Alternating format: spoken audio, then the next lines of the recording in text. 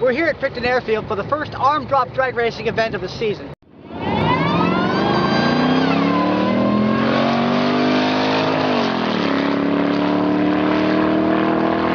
The event begins at 12 noon and runs till 6 tonight. Gates open at 11 this morning. Tickets are $5 for spectators or 20 if you choose to race. For more information or to volunteer, go to www.armdropdragracing.com or check out Arm Drop Drag Racing on Facebook.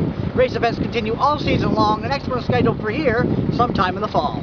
Chris Richard, CKWS News Watch, Picton Airfield.